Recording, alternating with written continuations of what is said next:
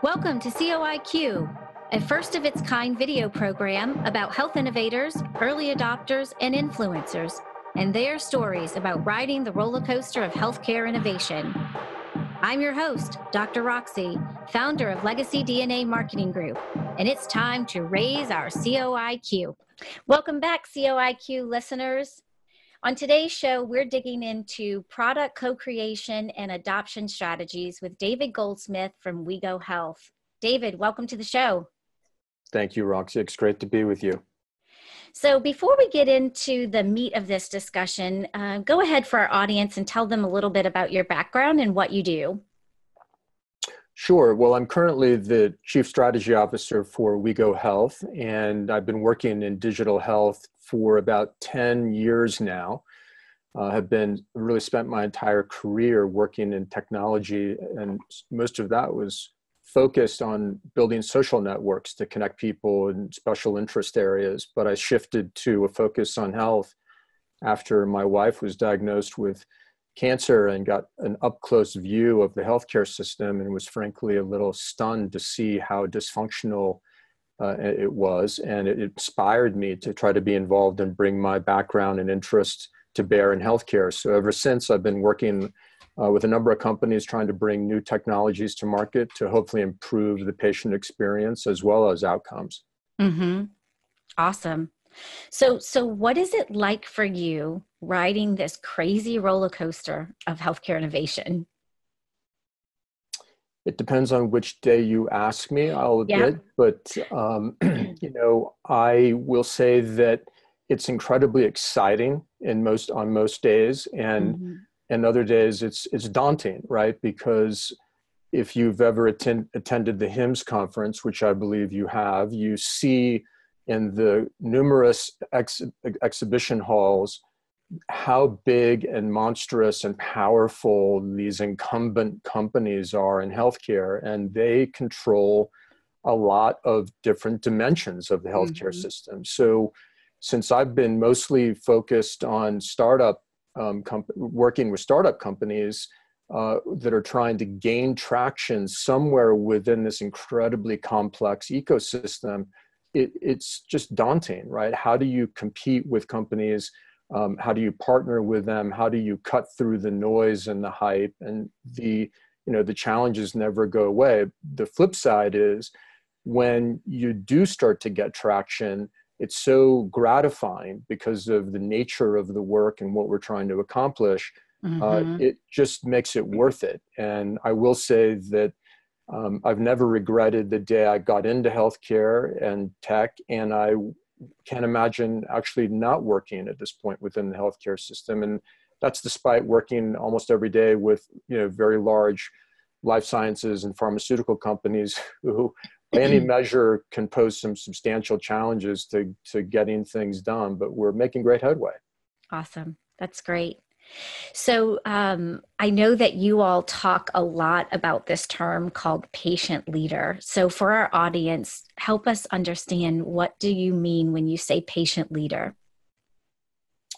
So when we look at the community of patients who are actively engaged online, one of the things that we have noticed over many years now is that there is a segment of those patients who really start to be um, highly visible because of how not just how active they are online but how many followers they have how uh, how um, what the their the nature of their participation is. So for example many of them have created blogs and are very active bloggers. Some have established a substantial digital footprint on facebook or twitter um, and now Instagram as well. And even many have set up YouTube channels. Mm-hmm. So you start to see people who are deeply engaged in their own health, but they're also very active in trying to help other people uh, with similar conditions or the same conditions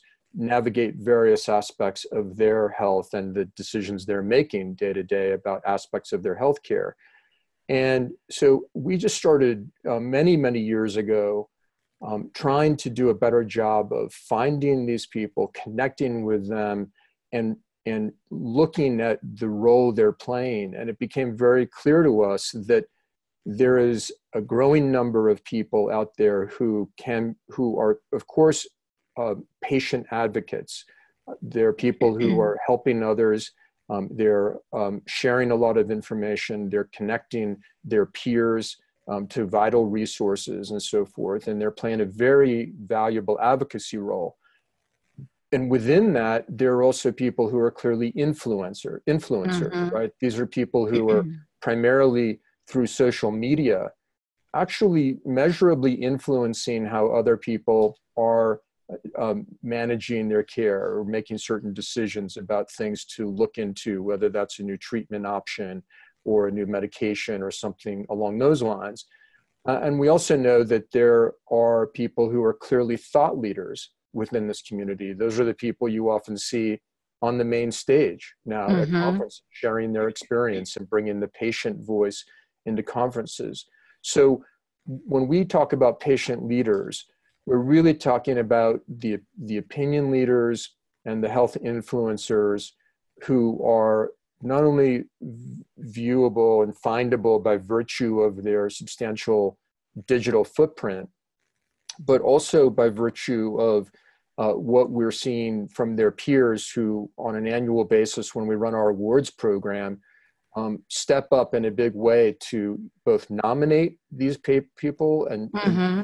Different categories or um, to vote for them once they're actually nominated. And we get tens of thousands of people in patient communities uh, validating that these are the leaders within the patient community they look to um, to stay connected, to get support, and to learn about new ways of of you know essentially coping with or managing their health. Mm-hmm. Absolutely. So why why is it important? You know, majority of our listeners are health innovators, early adopters. So why is it important for health innovators who maybe are um, bringing new products, new innovations to market, why is it important for them to involve patients or patient leaders in the uh, product co creation process? Well, it's important because ultimately, if you are hoping or expecting patients to adopt whatever solution you're bringing to market, then you are wise to work with them to understand whether what you're introducing to the market is in fact going to meet their needs mm-hmm. and be usable and useful. I mean, I know that goes without saying, but I think the landscape of failed products and solutions targeting patients is you know it's kind of vast right i mean we see it Definitely. pretty much on a daily basis where uh, new apps new devices um, new wearables uh, and so forth are brought to market with with very good intentions of solving real patient problems but for a host of reasons they just don't get adoption so we often learn that part of the failure there was a disconnect between what the entrepreneurs and the innovators thought was necessary or what would they thought might be addressing the mm-hmm. problems and what the patients themselves see as uh, critical f- for them. And they, there's an opportunity by virtue of working with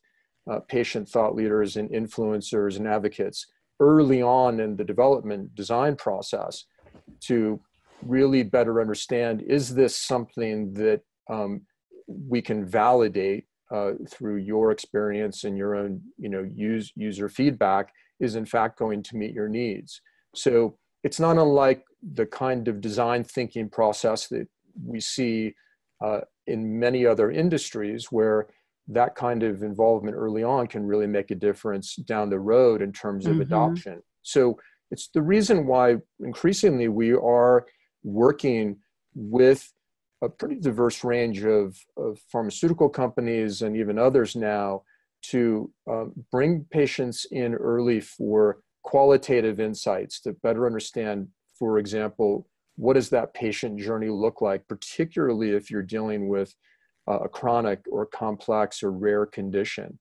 And um, you know you can't find a substitute for when it comes to design thinking you simply can't find a substitute for the end users of your intended product.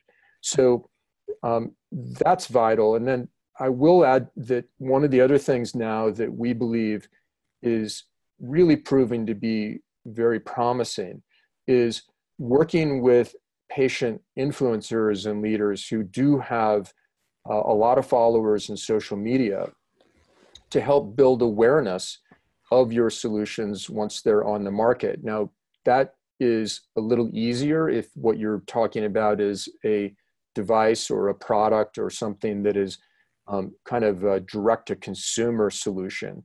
When it's through a B2B channel like a provider or a payer or potentially even a pharmaceutical company, that can be a little bit trickier. And yet, um, we still see opportunities to work with these individuals um, to think very strategically and um, also tactically about mm-hmm. what can mm-hmm. be done to try to really raise awareness within patient communities that these kinds of solutions exist, um, how they work, why they would, why they are beneficial, um, and rely, working, you know, with that the the patients themselves to help get that word out, um, because we know that again from our own research that if they're sharing that kind of information, uh, the likelihood of other patients acting on it is far greater than if that same message is being delivered by a, a company itself. Mm-hmm. Yeah, absolutely.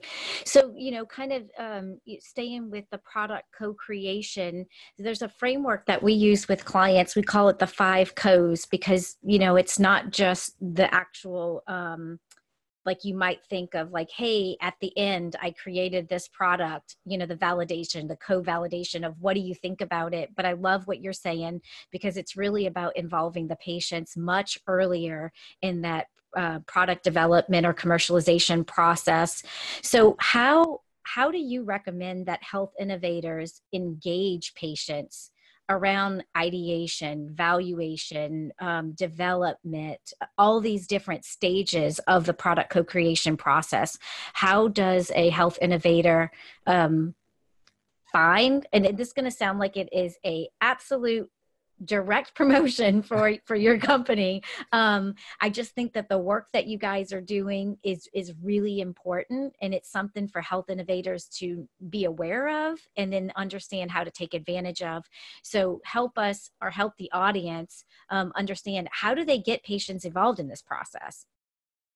You know it's a very good question and i will say that one of the barriers to this that we've encountered over the years by virtue of you know, talking to lots of companies about this this kind of thing is that they often simply don't know where to find the right people to bring into the room. It, that's it's not a slam dunk. I, I have by any means, right? And mm-hmm. and sometimes it's um, not knowing um, who to draw in and what they can really contribute. Sometimes there's trepidation because they're not sure whether what they're going to learn is is uh, is going to provide them with sort of actionable information or insight.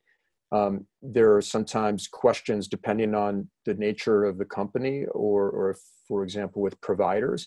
Sometimes there's real uh, concerns around confidentiality, confidentiality or privacy, and not wanting to have any appearance of uh, stepping into a conversation with a patient by, because they know that they have a certain condition so they kind of want to create a, a, a, sort of firewall there if you will. Yeah but um, you know the the thing that is um, you know i think important to keep in mind is that it's it goes with it kind of goes without saying that the patient population is not a monolith right? Within any uh, I mean, all of us know people, sometimes in our family, certainly friends, who are incredibly engaged, very knowledgeable, and uh, the kind of people who you want to bring into a room to have a conversation.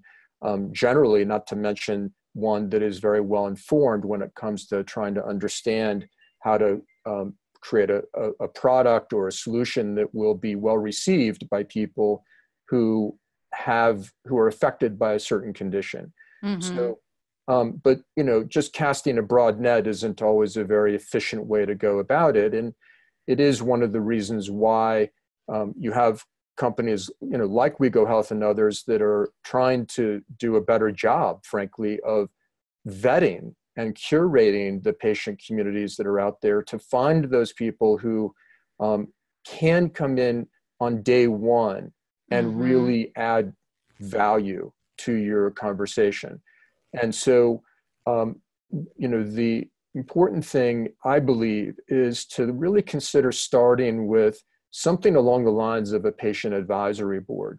You know, Roxanne, I mean, one of, one of the things that I'm struck by with so many startup companies, and, and I've been perfectly guilty of this myself in, in my career, we're very quick to want to put together some kind of ad advisory board um, that has technologists, for example, or mm-hmm. certainly in the case of healthcare, uh, people with you know very strong clinical backgrounds, and that's with good reason, right? Those are the, those are key stakeholders. These are the people who know the industry well. It makes perfect sense to have that kind of expertise involved in your enterprise. But it's kind of remarkable if your company is really trying to bring to market a solution that will be adopted by patients, whether that's to reduce cost and utilization, whether it's ultimately to improve outcomes, medication adherence, you know, whatever it may be. It's it's a little odd that we don't see more companies mm-hmm. create an advisory board that consists of the people that they ultimately are trying to reach. So mm-hmm. we we think that's a really good starting point. Um, that's a really good point you know mm-hmm. and now again that still begs the question you asked which is okay well who do we bring in for our advisory board and um, you know depending on your uh, on your on your product or your service and the nature of the condition that you're work conditions that you're working in mm-hmm. um, you know there are a lot of factors to consider in terms of what's the right representation um, mm-hmm. to bring to the table we've actually certainly had many uh, companies say to us, okay, we understand we go Healthy. You can bring the advocates and the influencers and the thought leaders, but those people aren't representative of our target population.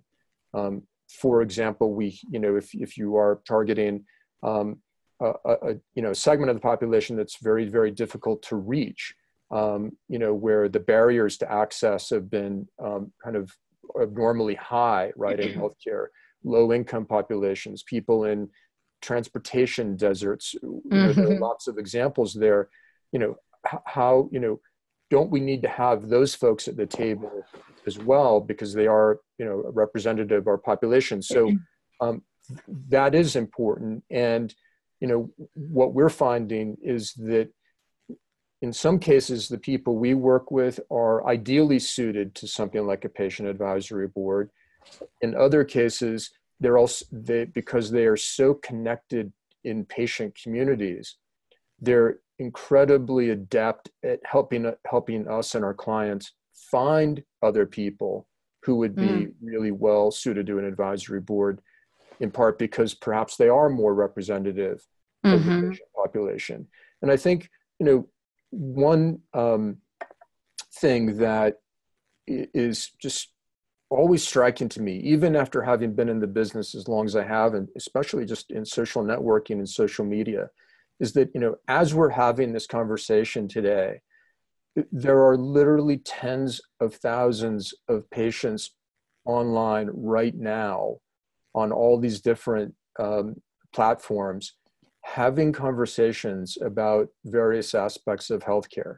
Mm-hmm. Um, some may be newly diagnosed and in the early stages of, um, of, of, a crisis that they now need to navigate. Um, people, for example, who are newly diagnosed with cancer are often quick to go online, to go to support groups, um, and try to connect with other people um, who have been in their shoes and try to, to get support there. There are people who are on the opposite end of that spectrum, you know, 20 year cancer survivors, for example, who are still very active in providing peer support online.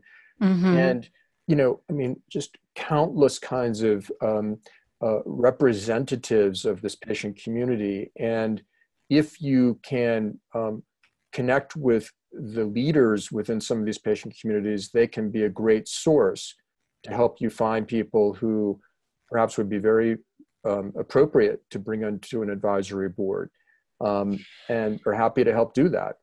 So, knowing that you work in this environment, give us an example of how involving a patient in the co-creation process can help uncover, um, you know, hidden insights for them. How it can uncover?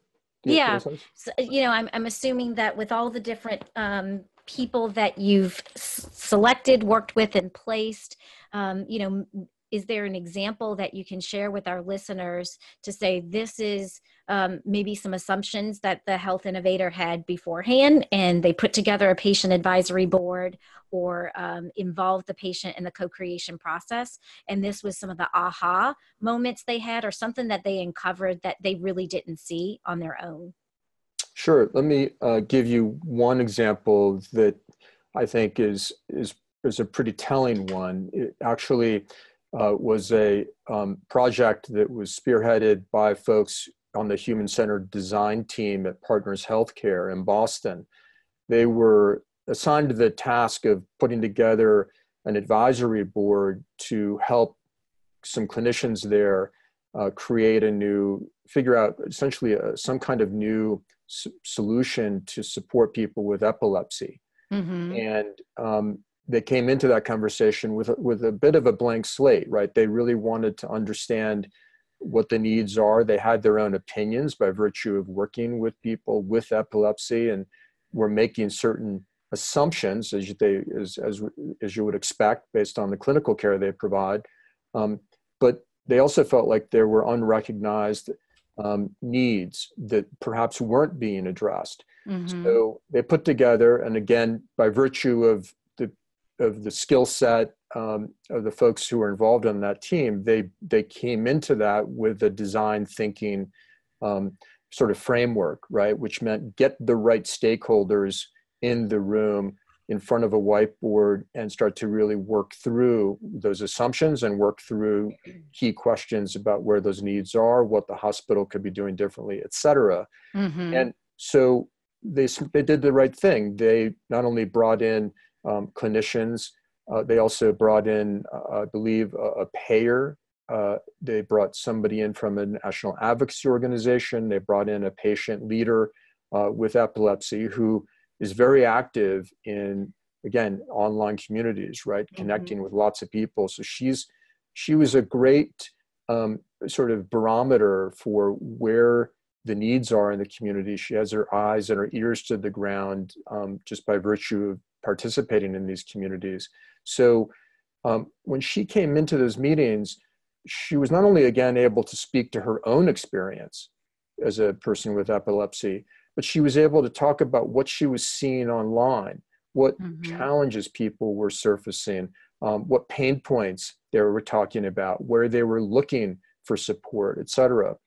And um, in that process of identifying where the needs were unmet needs in particular, uh, the clinicians in the room had identified a whole host of things that they thought um, th- that they were seeing, uh, but it really wasn't. Um, uh, f- there was a main problem that was flagged uh, by the patient advocate herself, which hadn't even really been on the radar, and it was in fact transportation issues, and the um, problem that people who have had um, an epilepsy seizure often face, which is that they lose their license um, and they lose driving privileges for a period of time um, by virtue of their seizure, or they're simply anxious about driving for obvious reasons. So it's not a classic example of a of a, a kind of transportation desert issue that we do see in a lot of communities. It was more a very um, you, you, know, kind of use case, condition specific example where um, these are people who often are isolated and end up not making it to their appointments, um, and and you know, uh, for whatever reason, don't feel like there's a, an easy solution for them. Sometimes at the spur of the moment, so they essentially were um, uh, in that process able to work with a patient leader who flagged something, surfaced something for them that simply hadn't been recognized. Um, and it kind of steered them away from thinking about uh, this in kind of more high tech, uh, so to speak, ways. I mean, they've, I guess, been very um, interested in looking at perhaps bringing a new app to market that people with epilepsy could use or something else. And it turns out that that this issue, if, if it could be addressed in a, in a very um, direct way, would actually be viewed by, the, by those patients as incredibly helpful and, and solve a very real problem. Yeah. And I, I think that there's many times where there, those things are overlooked unless you're involving the stakeholders, the right stakeholders in that process. Absolutely. So let's kind of just flip the coin again because, you know, just because on the other side of this, just because you have a patient involved in the process doesn't mean that you're going to automatically reach commercial success. There are definitely some pitfalls just to be mindful of. I, I, I kind of refer to them as guardrails to have in place um, whenever you're involving patients or really any stakeholder group in the product co creation process. Um, is, is there anything that you've stumbled upon um, of, of just kind of something that could be a pitfall of in, including them? Well, I, I, it's it's a it's a good question. I I, I think um, you know I'll tell you that you know one one pitfall is that there's a risk that if you have engaged one or several patients, like for example in an advisory board, um, with the intent of listening to them and using their um, insights and feedback to guide your roadmap. Mm-hmm. And at the end of that process, you, for whatever reason, and it may be for a whole, you know, for for good uh, business reasons, uh, you choose to essentially ignore or dis- or kind of in a sense dismiss what was uh, you know what was put forth in that advice among the folks on that advisory board there, there, there's some risk of backlash there unless they are clear on, on the basis for your decision. I mean, or your, or if they understand your thinking. I mean, th- there are plenty of examples that we've heard of, mostly, mostly anecdotal, um, mm-hmm. where, where um, people feel the patients who are brought into some of these kinds of um, ad boards or, or, or panels where they're asked to share their, their insights uh, and perspective uh, they feel like they've shared a lot of information, but they don't see it really go anywhere. It doesn't mm-hmm. manifest itself in any obvious way in terms of the future course or, or the future path that organization takes. So um, while you may start the process out with a in with a real um, with good intentions and a spirit of goodwill, um, mm-hmm. um, it ends up in some cases um, looking like uh, you were essentially paying lip service uh, to those individuals and not really intending to take their advice, but ultimately to be able to say at the end of the day, you listened to them. Right, right. right? Yeah. So, um, and, and again, there may be perfectly um, logical, defensible reasons for not necessarily moving forward with whatever recommendations um, or or advice uh, uh, an ad board like that put on the table. Uh, but if they haven't been brought along with your process after, let's say, you've convened that meeting uh, or several meetings, um, and don't know why you ended up where you did, um, then you know there can be some backlash there. Sure. The, the other thing that um, is a is a pitfall, and it, we hear this um, certainly from companies that are where there's if kind of trepidation about working with patient uh, leaders is the um, the concern is that patient advocates in particular can simply be very difficult to work with um, because they come in with a real um, some very strongly held views on on how the system has failed them or where the shortcomings are um, in, in various aspects of their of their healthcare experience. And those people can be um, you know strident. They can be agitators.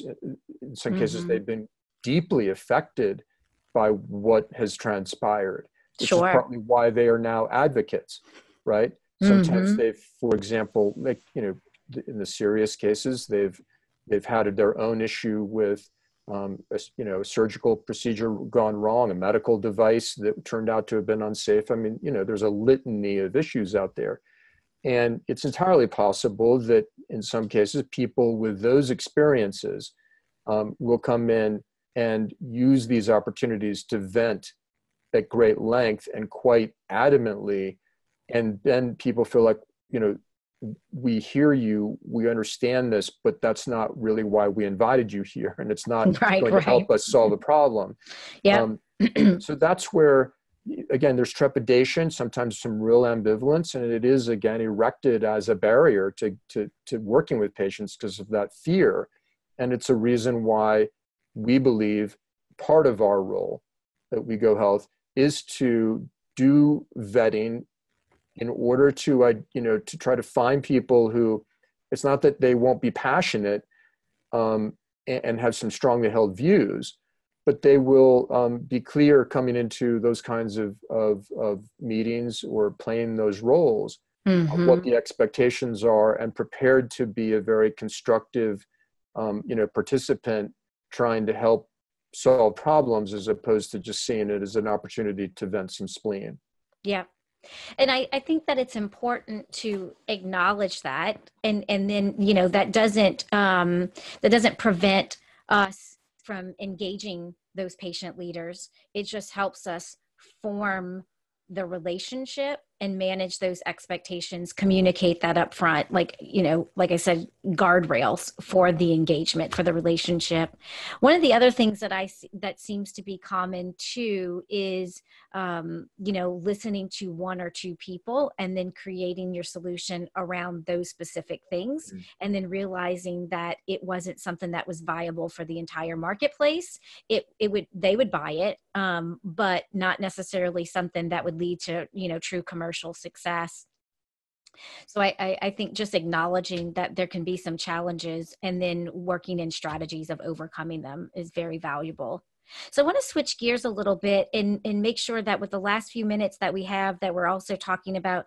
the product adoption and engagement. And you touched on this a little bit earlier, um, but you know, adoption and engagement is so difficult. I mean, you, you said it mm-hmm. earlier. Time and time again, we hear um, of you know the the 2,000 apps that um, no one's using, right? Um, and for for whatever reason that would be, um, you know, just because it's a solution that solves a problem doesn't mean that it's going to reach commercial success so um, what does a health innovator need to do to get patients to use their solution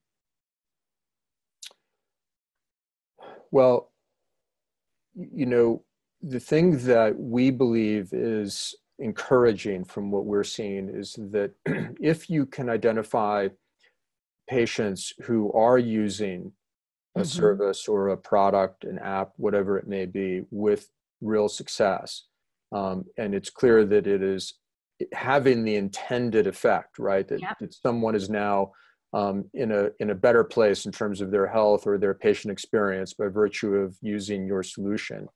That, that those are the people who really can be incredibly useful, helpful, committed ambassadors um, you know it's the notion of patient ambassadors is you know in pharmaceutical industry in particular is kind of well well established it's, it's mm-hmm. uh, and there are provider systems now that are uh, starting to build out patient ambassador programs so that they have patients who've had a very successful outcome and a great patient experience out there in their communities talking about um, why patients in those communities ought to go seek care in those areas. So we yep. we know that there is a greater recognition that the voice of a happy, satisfied patient um, is incredibly valuable.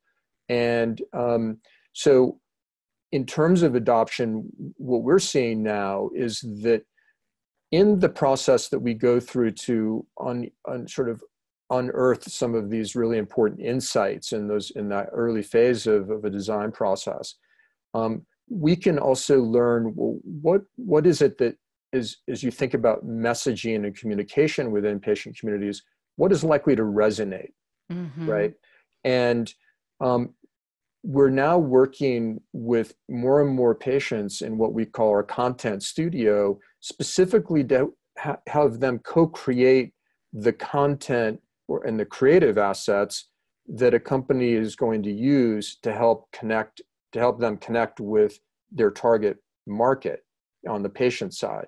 So and you don't hear that very often. That's no you great. don't.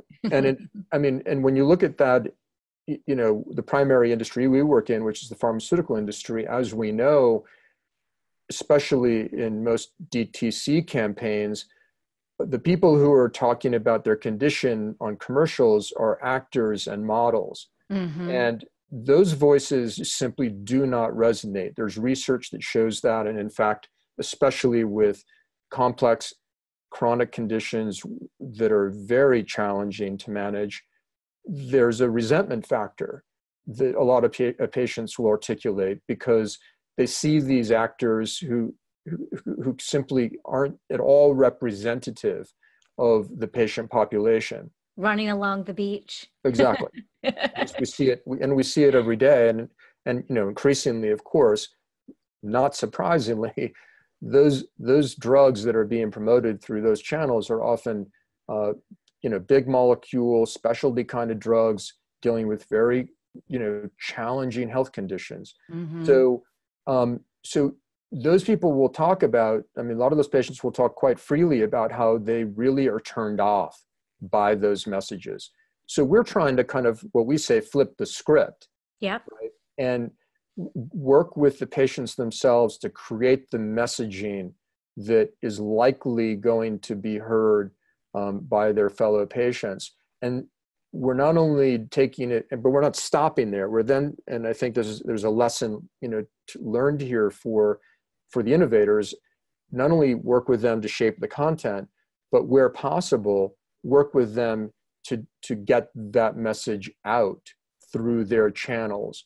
So um, you know this is again kind of an extension of a sort of ambassador slash influencer uh, model where people who are you know hyper connected through all these different social media platforms um, can say look i had a great experience with um, this cgm device i've had a great experience with this cpap machine whatever it may be and here's mm-hmm. why um, those are folks who you want to enlist um, as your allies to get the word out so that's kind of early adopt that's kind of the early adoption curve where mm-hmm. we've spent most of our time working with companies. But I just want to point out that I do believe there's an opportunity to extend that model further down the um, down the road or, or kind of integrate it more into the sort of care continuum, if you will, because uh, you know, a great example here in my backyard with a major provider was that they wanted to get a bunch of cardiac patients using an app when they went home to better manage their symptoms mm-hmm. um, and um, have some resources in the event that they were thinking they might need to get back into the ED. And they didn't talk to cardiac patients when they designed that app, and they didn't have very much success getting it utilized once it was on the market. And so it, there was a clear opportunity for them to actually work with cardiac patients to be in touch with other patients when they went home from the hospital to say hey you know i just i i survived this as well. I know what you're going through. I understand your pain your anxiety etc and here's an app i've been using provided by this hospital system. Here's why i think you should use it. If you have questions we can help you. If you have you know you need technical support we can help you but having that message delivered by someone who again who's who's been in their shoes is is is quite likely going to have a greater impact on that individual's willingness to work use that app um, than than anybody else in the system. I'm a big believer. I mean, I, I think that it's just a no brainer. Why wouldn't you? Why wouldn't you ask the people that you are expecting to use your solution um, to help co-market, co, you know, co-launch, and and make them um, a part of that process. And so it, you know, it sounds, David, like what you're talking about is that our listeners, health innovators, have the opportunity to include patients from end to end. The beginning, I have an idea. What do you think? All the way to I launched in, in each place in that continuum, all the way to I launched it and now help me continue to promote it and to increase adoption and engagement. That's fantastic. Exactly. Absolutely fantastic. So, so as we wrap up here, what advice? This is our last question. What advice do you have for health innovators um, who are in the trenches today? uh, well, my advice is uh, to keep your eye on the prize at the risk of um, of cliche, using a cliche. Yep. Um, and to be um, tenacious, of course, because without that, you likely will not survive. Um, you know, the healthcare uh, marketplace. Um, I certainly, as you would expect, advise people to find patients to work with and get advice from and uh, and then i would say try to be very open to the to the um, prospect of having to um, you know pivot not just based on what you may be learning from your mm. target market in this case let's say patients um, but by virtue of trying to bring a new product or a solution to market or get significant market traction in an ecosystem as you know complex and um, some would say even rigged as it is. I don't like to use that word, but that's but, another show. that's a whole other episode. you know, you, you got to be prepared to um, really roll with the punches and make some significant shifts in your plans based on where you see that friction, because it's pretty hard to break through it. Yeah, yeah, absolutely. Well, thank you so much for taking the time to share your wisdom with our guests, um, you, with our audience. I, I know that they, our listeners, are going to get a lot of wisdom, um, a lot of good strategies and, and considerations from you today. So, how can our audience get a hold of you if they've got any other questions about um, integrating patient leaders into their um, commercialization process? Well, if they're on Twitter, they can find me at DS Gold. That's my Twitter handle, and I'm certainly active there. DM me. It's an easy way to connect. Or okay. david.goldsmith at wegohealth.com. Um, I, am happy to have a conversation and um, just try to steer people in the right direction, provide whatever advice or guidance I can. Wonderful. Thank you so much for your time today. Thank you very much. What's the difference between launching and commercializing a healthcare innovation? Many people will launch a new product, few will commercialize it. To learn the difference between launch and commercialization, and to watch past episodes of the show, head to our video show page at drroxie.com. Thanks so much for watching and listening to the show. You can subscribe to the latest episodes on your favorite podcast app, like Apple Podcasts and Spotify or subscribe to the video episodes on our YouTube channel. No matter the platform, just search COIQ with Dr. Roxie. Until next time, let's raise our COIQ.